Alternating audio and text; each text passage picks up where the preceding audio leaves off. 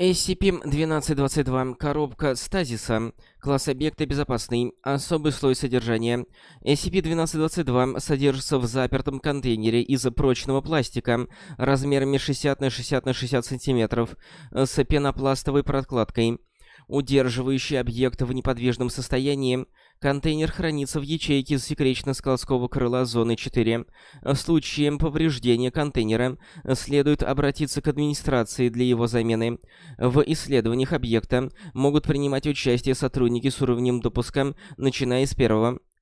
В отсутствии исследований, один раз в год внутренняя поверхность SCP-1222 обрабатывается льняным маслом в целях сохранения объекта. Такая же обработка производится по завершении каждого опыта. Описание. SCP-1222 представляет собой бамбуковую коробку размерами 7 на 10 на 10 см, украшенную бисером и ракушками. Крышка коробки прикреплена на сплетенной из пальмовых листьев нити. Аномальный эффект объекта проявляется в отношении человека, который возьмет его обеими руками и посмотрит на дно. Такой человек, далее SCP-1222-1, мгновенно входит в состояние стазиса, в котором невозможно изменить его позу или нанести повреждение его телу никакими средствами, доступными фонду на сегодняшний день. SCP-1222-1 не проявляет признаков жизни, дыхания, сердцебиения, мозговая активность и может оставаться в таком состоянии сколько угодно долго. Стазис прекращается только при контакте SCP-1222-1 с кожей живого человека. Извлечение объекта из рук SCP-1222-1 или преграждение прямой видимости дна объекта не приводит к прекращению стазиса. Одновременно может существовать не более одного SCP-1222-1. Все попытки воздействия на нескольких субъектов не удались. При прикосновении к SCP-1222-1 во время стазиса через латексную перчатку его тело кажется неестественно жестким и неподатливым на ощупь. Исследователи проводили аналогичные аналогии с камнем или металлом. Этот эффект также распространяется на волосы, но одежду не затрагивает. Выдержка из протоколов исследований 1222-1. Опыт SCP-1222-T12. Процедура. SCP-1222-1. Нанесено 32 удара по голове металлическим прутом. Результат. SCP-1222-1 не поврежден. Прут деформирован. Опыт Т-14.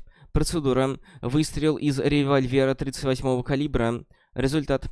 Пуля попала в правую мочку уха субъекта и расплющилась.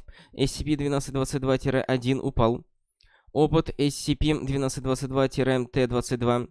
Процедура. Выстрел из винтовки AR-10 патроном 7,62 на 51 НАТО.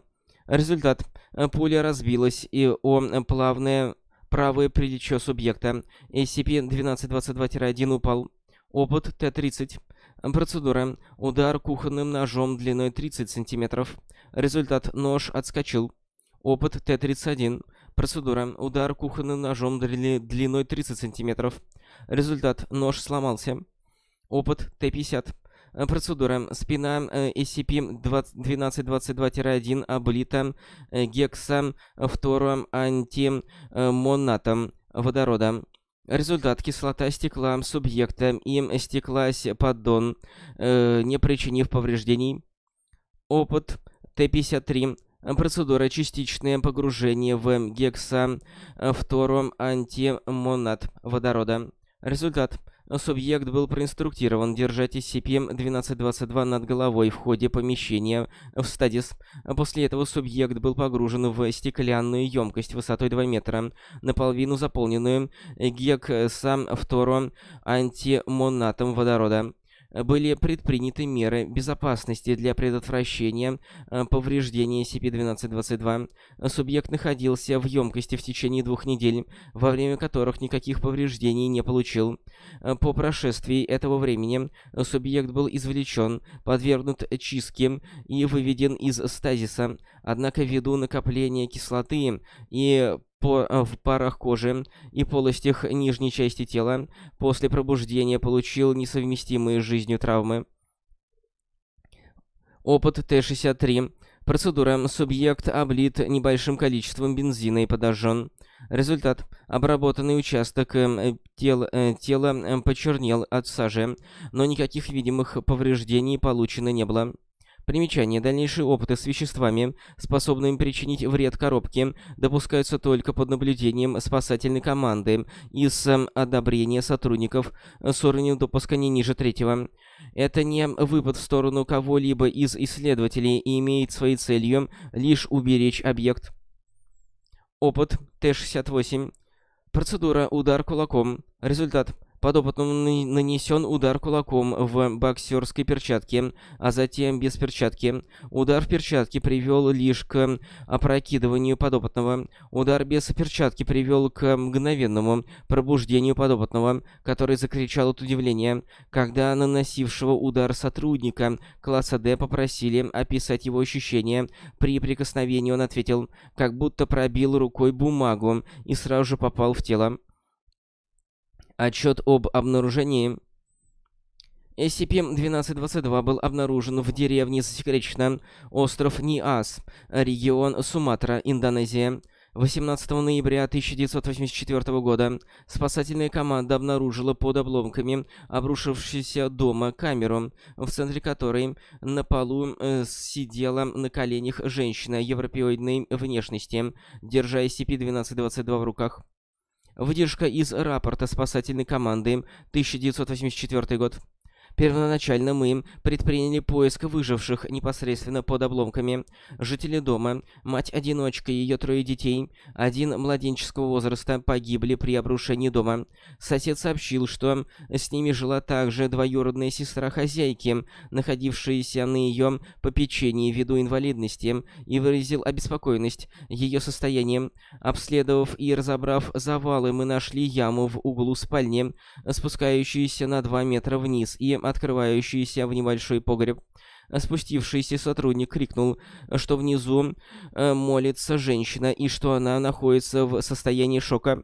Когда он прикоснулся к ней, чтобы попросить э, э, сопроводить наверх, она начала кричать на языке, который мы не поняли, и продолжала кричать, когда ее вывели наружу. На ее теле не было ни единой царапины, но она была одета в очень старую и ветхую одежду, и вся покрыта толстым слоем пыли. Женщина успокоилась после того, как мы обездвижили ее и отправили в пункт первой помощи. Все члены спасательной группы, обработанные легкими амнезиаками, Субъект сообщила, что ее имя засекречено, и что родилась на... Она 4 июня 1800 засекреченного года. Агенты изъ... изъяли из ее медпункта и доставили в зону 4 вместе с SCP-1222. Субъект хорошо владеет голландским э, времен 1800-х годов. По, по поводу SCP-1222 она сообщила, что после того, как ее отец данной удалены, она нашла объект среди пепла недалеко от того места в деревне, где была обнаружена. Субъект доставлена в зону 3 в качестве сотрудника класса D. Приложение. Запланированы опыты с использованием радиоактивного облучения и разрушительных бактерий на... Э, наномашин, а также SCP засекречено, засекречено, засекречено, засекречено, засекречено, засекречено и засекречено. Опыты с объектами класса Кетер отклонены в связи с возможностью повреждения или уничтожения SCP-1222.